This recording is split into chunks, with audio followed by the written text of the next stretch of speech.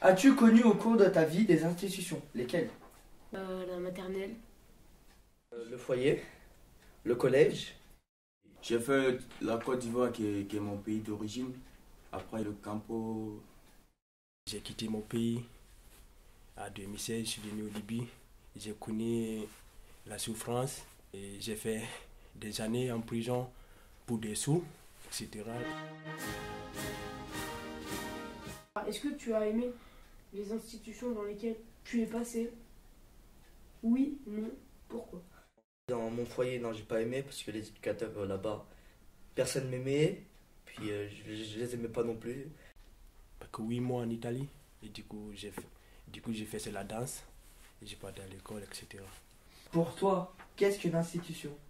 Pas une institution, t'as des profs, euh, tu vas en cours, je sais pas. par exemple comme la police.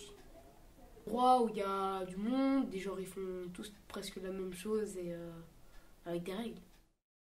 Une institution, c'est euh, de partir à l'école, de t'in- de t'intégrer dans les sociétés, etc. L'institution, c'est un établissement pour apprendre aux enfants à se diriger vers leur métier.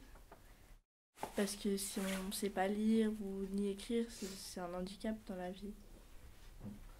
Quelles sont les personnes qui vous ont marqué dans ces institutions Dans mon foyer, ben, c'était la psy. C'est joli. puis euh, dans mon collège, euh, personne. Mais c'était en Côte d'Ivoire, à l'école primaire, le- en classe de CE1. J'avais peur de mon maître. Si, euh, je sais pas, j'aime bien tout le monde. Ça va, c'est bien. Comment vous imaginez votre avenir?